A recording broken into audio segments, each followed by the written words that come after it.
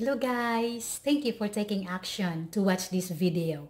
Sa action mo pa lang na yan ay pinapatunayan mo na na mayroon kang pag-asa upang matutunan kung paano mo din itong gawin ang isang online business na to. By the way, my name is Benjulara Duro Vitasolo, isang dating OFW. Isa akong online entrepreneur and an online business coach. Stay tuned dahil gusto kong i-share sa iyo ang napaka-amazing business, um, isang klase ng automated system that helped me to earn 1,176 US dollars or 58,800 pesos online uh, in just less than 2 months. Bibigay din sa akin ng um, another income from sa aking ibang mga business, no? Um, I earned 540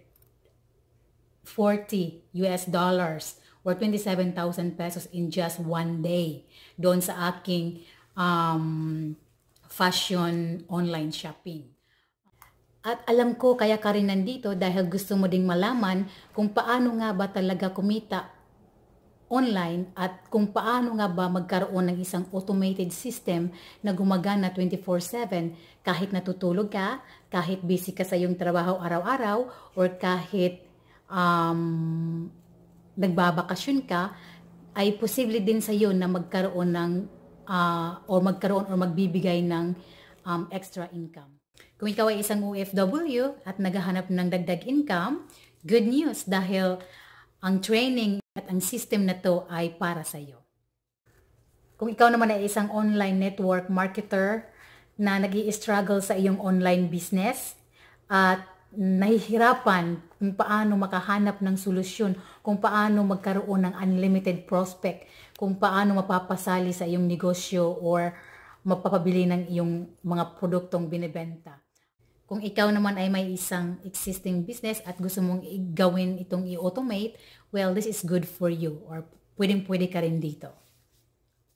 So what you're gonna do right now is i-click mo lang yung instruction sa baba, yung instruction dyan sa gilid ng video na to or sa baba ng video na to. Sundan mo lang siya step by step. Um, step 1, kailangan mong i-share ito sa mga friends mo. And step para, para magkaroon din sila ng chance. And step 2, kailangan mo i-click yung nakalagay na step 2 din sa box na yan para ma-access mo ang automated system. I hope na mag-take action ka dito para um, makasama kita sa aming community. And I wish you all the best and I hope to see you in our community.